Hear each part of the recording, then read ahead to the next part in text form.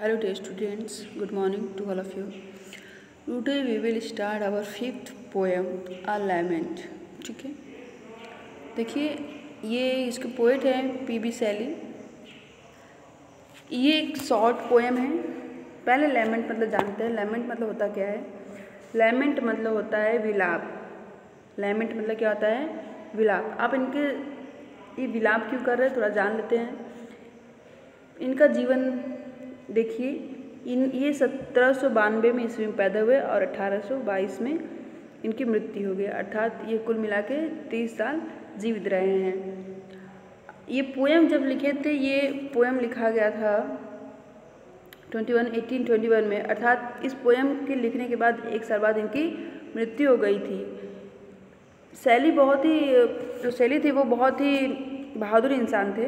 देखिए, P B Shelley son of wealthy English baronet baronet एक पद था ब्रिटिश सरकार में ठीक है और इंग्लिश बैरोनेट के ये बेटे थे he was born in Sussex his family was very good उनकी फैमिली बहुत ही अच्छी थी he got his education for at Eton and Oxford इन्होंने यहाँ से अपना अध्ययन शुरू किया था his colleagues and teachers experienced something more than common मतलब बहुत ही उत्कृष्ट, अच्छे बच्चे थे और ये बहुत ही रिवॉल्यूशन करते थे।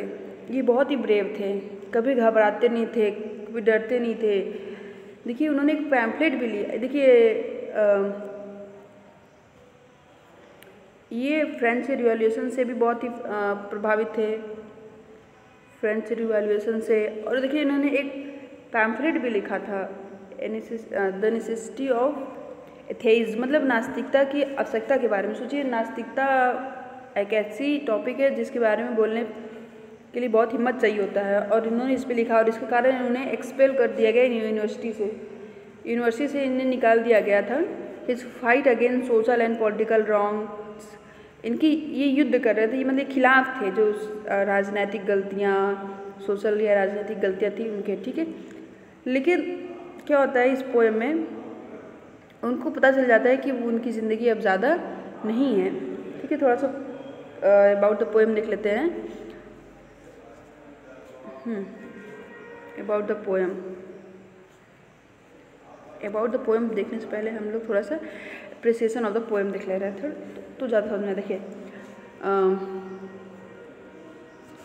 This is personal poem of V V Shelley मतलब ये पर्सनल मतलब इनका व्यक्तिगत अपने खुद के बारे में पोएम लिख रहे हैं, इसलिए पर्सनल पोएम है। इट शोज़ इज़ पेसिमिज्म ये उनके निराशावादिता को दिखा रहा है। पेसिमिज्म ना?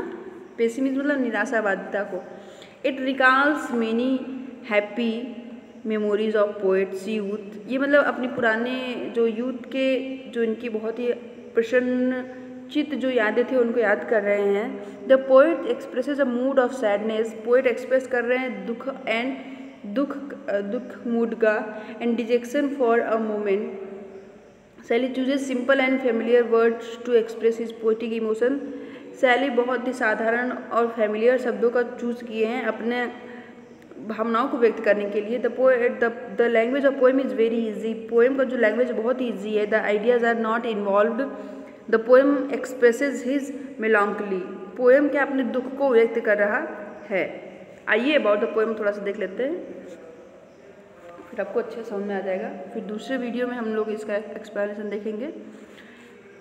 ठीक है? A lament is one of the saddest poems of Shelley Shelley के सैडेस्ट पोएम में से एक है। It expresses the mood of extreme dejection and pessimism मतलब उनका जो बहुत ही डिजेक्ट हो गए थे, वो उनका डिजेक्शन और पेसिमिज्म निराशावादी को दिखा रहा है, ये पोएम व्यक्त कर रहा है।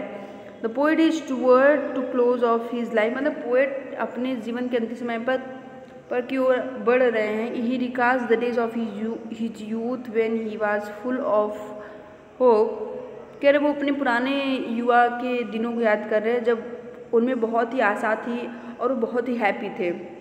But now he has lost all his joys लेकिन अब वे अपनी सारी खुशियों को लॉस्ट कर गए मतलब खो दिए हैं। एंड रिवॉल्यूशनरी फेवर और जो उनके जो क्रांतिकारी विचार थे, क्रांतिकारी उनका सोच था, वो सब अब वो खो दिए हैं। His life is dull and uninteresting अब उसका उनका जीवन नीरस हो गया है। He is a grief stricken man और वो बहुत ही दुख से ग्रसित व्यक्ति बन गए हैं with no hope of bright future जिनके मतलब उन्हें अब अपने भविष्य में कोई भी आशा की किरण नहीं दिख रही है। He remembers his golden days and आज हिमसेल्फ वो अपने युवा, युवावस्था के दिनों को याद कर रहे हैं, खुशियों के दिन याद कर रहे हैं और अपने आप से पूछ रहे हैं कि if those days will ever return to him क्या ये हैप्पी वाले दिन, क्या प्रसन्नचित दिन, क्या कभी वापस उनके पास आएँगे? But then he most regretfully says लेकिन फिर वो बहुत ही दुखी के कारण सेज कहते थे these days will never return to him कि ये दिन अब कभी वापस नहीं होगा। अर्थात उन्हें आभास हो गया था कि अब वे जीवित नहीं बचेंगे। और इस पोएम के लिखने के एक वर्ष बाद ही उनका डेथ हो गया था। ठीक है? एक्सप्लेनेशन हम दूसरे पोएम दूसरे वीडियो में देखेंगे। वीडियो लंबा हो जाएगा। अच्छे से समझ में नहीं आएगा। ठीक है? Thank you